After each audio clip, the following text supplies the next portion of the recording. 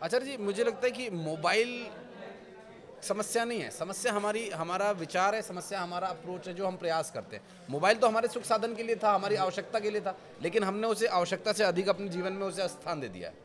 आवश्यकता है मैं मान सकता हूँ। देखो इसीलिए शास्त्र ने कहा गया कि भोजन की एक मात्रा है। जी। मानेंगे ना? कि भोजन एक मात्रा में किया जाए तो आपके शरीर के लिए पुष्टकारी होगा लाभकारी होगा और आपको स्वस्थ रखेगा। यही भोजन जब आप अत्याधिक कर लेंगे तो आपको निंद्रा आएगी आपको तंद्रा आएगी आपको आलस्य आएगा आपको प्रमाद आएगा पाँच चीज़ें आएँगी पाँच दुर्गुण आ जाएँगे। तो अधिक मात्रा में जब आप करते हैं देखिए उपयोग में औषधि ली जाती है तो शरीर को रक्षा करती है।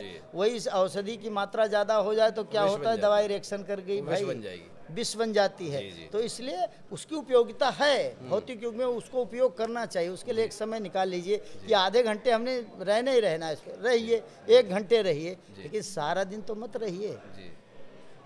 बिल्कुल। आपसे चर्चा करते हुए आचार्य जी मुझे समय का बिल्कुल भान नहीं रहा बहुत समय हो गया और अ, मुझे लगता है कि हमारे जो दर्शक हैं जो पॉडकास्ट देख रहे हैं उन्हें भी उतना ही आनंद आ रहा होगा जितना मुझे आ रहा है। और चर्चा को हम अब विराम देंगे लेकिन उससे पहले चलते चलते मैं दो और जो महत्वपूर्ण प्रश्न रह गए थे मैं चाहूँगा आप उसे शॉर्ट में बताएँ। तो गोवर्धन पूजा उसकी तिथि क्या है क्या समय रहेगा और उसके बाद भाई दूज किस तिथि में मनाएँ और कैसे रहेगा? देखो गोवर्धन पूजा दो तारीख को ही करना चाहिए शास्त्र सम्मत है। गोवर्धन पूजा ये इसमें कोई दो मत है नहीं। दो तारीख को गोवर्धन होगा होगा। और तीन तारीख को भाई दूज भाई दूज मनाया जाएगा।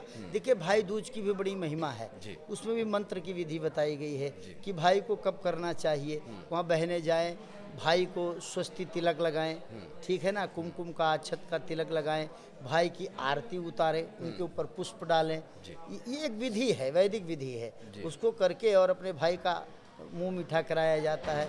और यम द्वितीया का यहाँ तक भी महात्मा है कई लोग कहते हैं कि यम और यमुना जी। दोनों बहनें हैं। भाई बहन भाई बहन हैं तो उनको यम द्वितीया को यदि यम की यमुना की पूजा की जाती है अब यमुना की पूजा का मतलब हो गया प्राकृतिक की पूजा। जी। यदि हम जल की रक्षा करेंगे जल का संरक्षण करेंगे अब आज देखते हैं यमुना का क्या हाल हो रहा है गंगा का क्या हाल हो रहा है इसके जिम्मेदार हम आप हैं। ये हमारी ज़िम्मेदारी है कोई सरकार इसको पूरा नहीं कर सकती।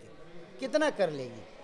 इसलिए यमुना पूजन का अर्थ है, यमुना में आप दूध से अभिषेक कर दीजिए, दही से कर दीजिए, घी से कर दीजिए, शहद से कर दीजिए, पंचामृत बनाकर यमुना जी में अभिषेक करिए।